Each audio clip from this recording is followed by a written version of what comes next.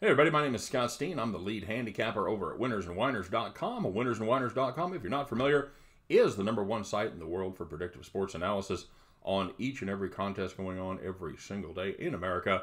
That's right, every game, every day, always free. Winnersandwhiners.com. And of course, I do have my own premium picks available if you'd like to get signed up for the premium service. We'd love to have you on the team. I will put the link up in the description of this video. Feel free to click on that and follow us to victory. All right, so without further ado, we're going to take a look at uh, the second game of this weekend's uh, divisional set as the Tennessee Titans travel to Baltimore to take on the Ravens. As of this writing, as of this recording, rather, uh, the Ravens are a 10-point home favorite, the total in this game is 46 and a half. And the tail of the tape, well, it goes a little something like this: the Titans this season are 10 and 7 straight up, 9 7 and 1 against the number 10 and 7 to the over as far as overs unders goes. And the Ravens, they are your number one seed, the first place team in the AFC North Division. They are 14 and 2 straight up on the season, 10 5 and 1 against the spread. And the under, uh, excuse me, the over is cashed nine times in their 16 games. Well, guys, the Ravens, they are an anomaly this season. They led the league in rushing, but they also led the league in points. Now, normally you think of running teams as those three yards in a cloud of dust, grind it out, beat you into submission type teams. But, ladies and gentlemen, this ain't your dad's 72 Dolphins, all right? Because the Ravens, well, they have their very own anomaly at the quarterback position. Meet Lamar Jackson, the single most exciting player to hit the league in probably the last 15 years at least. And this comes from a guy wearing a Pat Mahomes jersey. You know, would I rather have Jackson than PM 15? Well, I think Mahomes has a little better arm, although it's closer than most people think. And if I had my choice of 10 healthy years of each, I'd probably take Jackson. But here's the problem he's not likely to get 10 healthy years. At least that's what the track record of running quarterbacks in the NFL says. Daunte Culpepper, Donovan McNabb, Randall Cunningham, Michael Vick, none were able to dodge injuries, or in the case of Vick, uh, other problems. So let's just enjoy it while we can, shall we? Uh, Lamar Jackson he finished sixth in the league this year in rushing, and he also finished 672 yards ahead of the quarterback who had the second most rushing yards, and that is Kyler Murray, the rookie from the Arizona Cardinals. He averaged 6.9 yards per carry. That is first in the league, and it is 23% more than the runner up average. But, as Billy Mays would have said, but wait, there's more. Because not only do you have arguably the best running back, uh, best running quarterback in NFL history, but you also have the NFL leader in TD passes as well with 36. What's amazing, the Ravens didn't throw the ball very much by today's standard. Uh, they were, were 27th in passing yardage, and they were dead last in passing attempts. Now, that's worth saying one more time. They were last in attempts and first in touchdown passes. Has that ever happened before?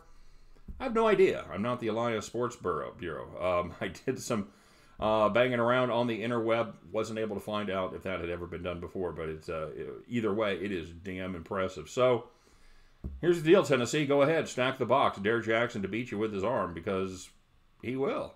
Um, unfortunately, the news on the other side of the ball isn't quite as good for the Ravens. You know, just as Lamar Jackson isn't going to uh, remind any Ravens fans of Trent Dilfer uh, this gener- uh, this uh, defense isn't going to generate many comps to the 2000 uh, Ray Lewis defense of the Super Bowl champion Baltimore Ravens. But the good news is um, they're getting better, uh, at least against at least against average competition. In the second half of the season, they allowed just 106 points. That is 13.2 points per game, and that is a a number that would have been first in the NFL over the entire season. However, there is a little bit of an asterisk with those numbers. they did a very good job against the Rams and the Texans. But they didn't face a running back that's nearly as good as the Tennessee Titans' Derrick Henry. Uh, the Ravens ranked just 20th in the league in uh, yards per attempt allowed at 4.4, and teams have been able to find some success running the football between the tackles with uh, big running backs who have a little bit of breakaway speed. But here's the deal any team that's one dimensional can absolutely be stopped in the NFL. And that's why it's imperative that Ryan Tannehill play like the 2019 version of Ryan Tannehill and not the version that we saw prior to that. Think of him as Cinderella. This year he was at the ball having a great time. Uh, prior to this season, he'd pretty much uh, been full of uh, pumpkins and drudgery. So we need to get Ryan back to uh, dancing at the ball wearing those glass slippers. Um, he was the most efficient quarterback in the NFL after being installed in the starter in Week Eight. Uh, now, like we talked about, he didn't do last he didn't do much last week against New England, but part of that because they didn't have to. The Titans they decided to run at the Patriots until they could stop them, and the Patriots, well, they never did.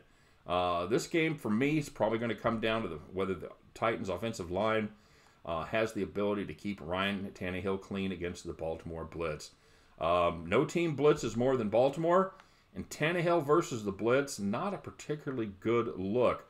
Uh, when facing the blitz, he took a sack uh, at the fourth highest rate in the NFL. Now, uh, he does, tends to hold the ball too long trying to make that decision, and he will take the sacks. Now, the good news for Tennessee fans is um, if he stayed upright in the face of the blitz, he did okay, actually above average.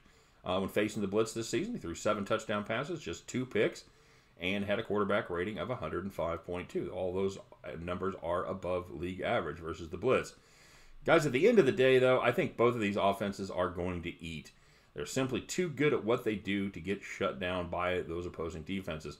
This game should be very entertaining, and uh, it's always fun. We get to see the best quarterback in the NFL and the best running back in the NFL go head to head.